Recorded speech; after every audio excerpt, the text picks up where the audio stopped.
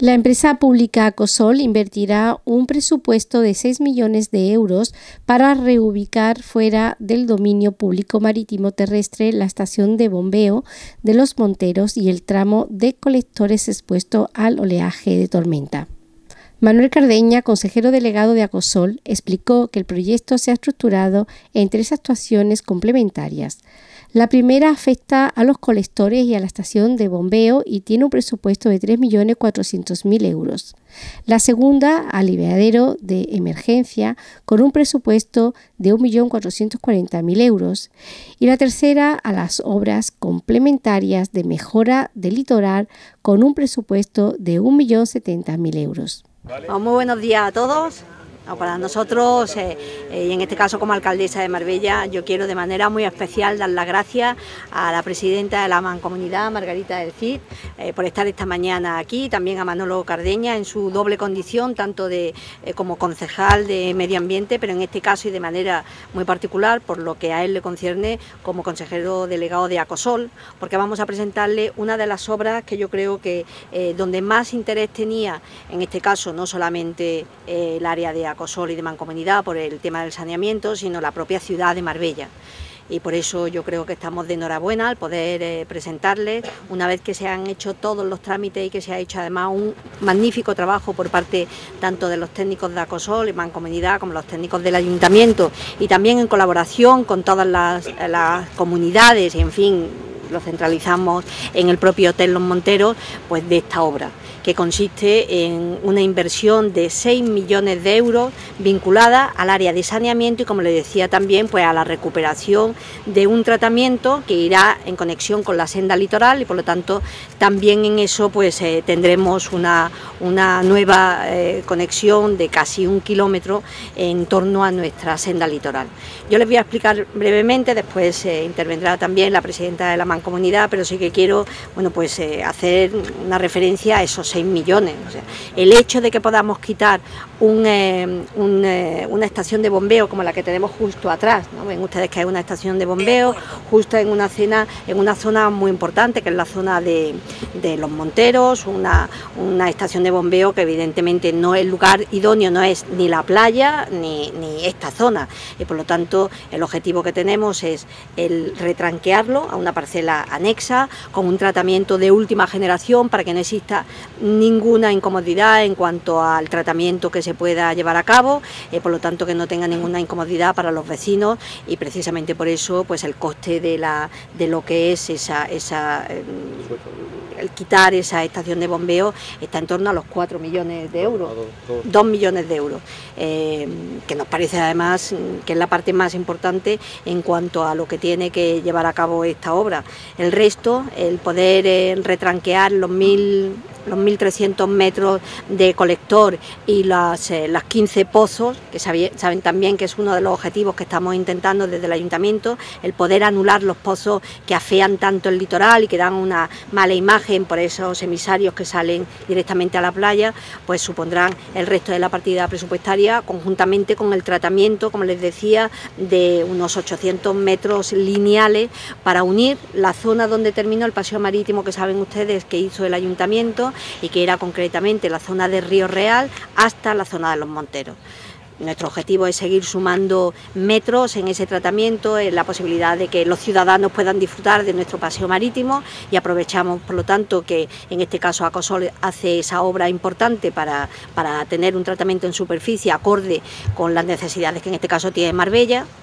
para nosotros es una obra que si tal como dicen eh, en este caso los técnicos y profesionales de la mancomunidad y de, y de Acosol empiezan en el mes de octubre, pues tendremos eh, la garantía de que con el plazo de ejecución que está marcado el próximo verano podamos tener ya pues una unión en esa senda litoral, por lo tanto dispongamos de ese retranqueo de toda la zona de saneamiento, también de lo que es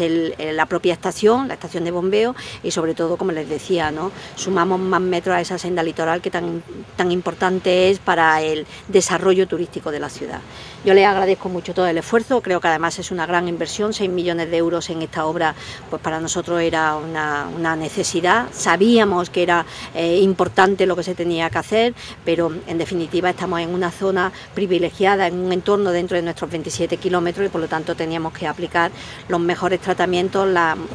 eh, tecnología más moderna y así ha sido. Así que muchísimas gracias por atender las peticiones que tanto vecinos como el propio ayuntamiento se hizo a COSOL y aquí está el resultado. Bueno, pues yo muchísimas gracias, agradecerle a la alcaldesa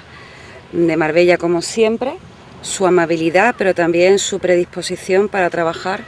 con otras administraciones, fundamentalmente con la mancomunidad de municipios de la Costa del Sol también por su paciencia, porque todo este tipo de infraestructuras, como ustedes llegarán a entender, tiene mucho trabajo detrás, muchísimo esfuerzo técnico y fundamentalmente tiene muchísimas horas en las que se han tenido que dedicar, pues porque hay que coordinar el trabajo de muchísimas administraciones, pero fundamentalmente eh, de muchas personas eh, que están intentando hacer que este plan de inversiones que ya el año pasado les anunciamos sea una realidad. De esos 40 millones de euros que, que dijimos que se iban a invertir, 18 millones de euros son ya una realidad de obras que están en marcha y va a estar en marcha. Como ha dicho la alcaldesa, efectivamente, eh, ya se ha comenzado con la licitación de esta obra, con lo cual vamos a ver pronto que hay que, que se pasan de los hechos a las realidades. Y además, déjenme decirle que con la satisfacción de, con una empresa que hace siete años estaba en una situación prácticamente eh, difícil. No quiero decir que estaba en quiebra, pero estaba en una situación difícil y que hoy por hoy está en disposición de invertir 40 millones de euros gracias fundamentalmente al esfuerzo de los trabajadores y del personal técnico que trabajan en ella. Eh, como les ha dicho bien la alcaldesa, eh, estamos hablando de, una obra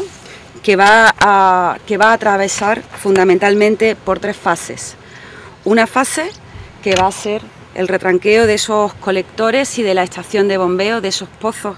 de los que hablaba Ángeles Muñoz. En segundo lugar, también para crear un aliviadero de emergencia y unas obras complementarias que se van a hacer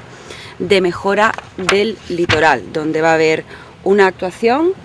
en el sistema dunar y efectivamente una eh, pasarela peatonal que se va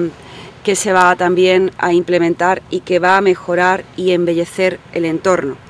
Yo quiero decirles que para el equipo de Mancomunidad de la Costa del Sol, para, el, para el, equipo de Acosol, hoy es una eh, bueno, pues es algo que deseábamos mucho que llegase este día, no solo por lo que va a suponer con respecto al saneamiento integral y la mejora del saneamiento integral que, que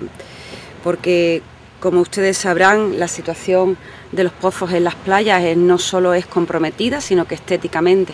no es lo que más le beneficia al turismo, sino porque efectivamente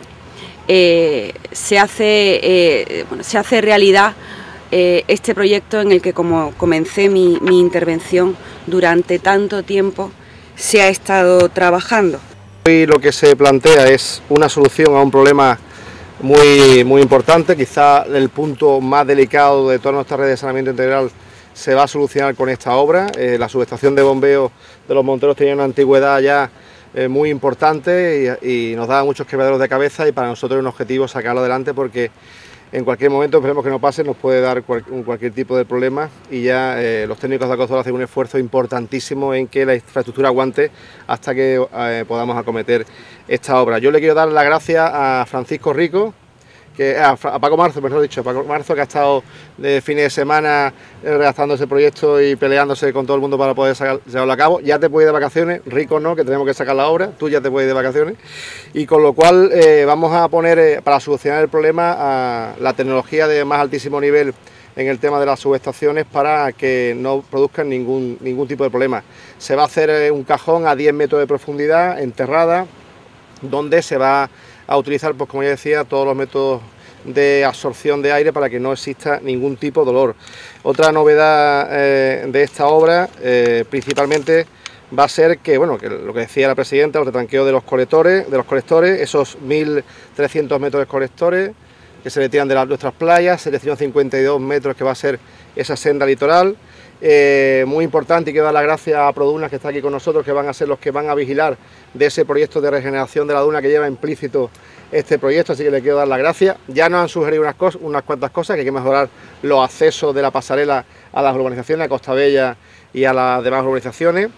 Eh, una novedad que, que, tiene esta obra es que, eh, y una, una constancia que tiene la alcaldesa en la implantación del agua con agua regenerada, toda la pasarela, todas las zonas verdes que lleva se van a cargar con agua regenerada, se trae la conexión de agua regenerada hasta esta zona, hacemos ese mandato que nos pedía eh, la alcaldesa.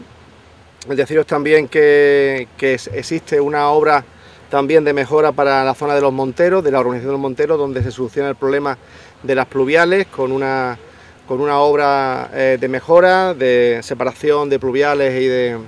y de las diferentes aguas para que no haya problema. Tiene un problema aquí muy grave y también se soluciona con esta, con esta obra y solamente me queda decir que,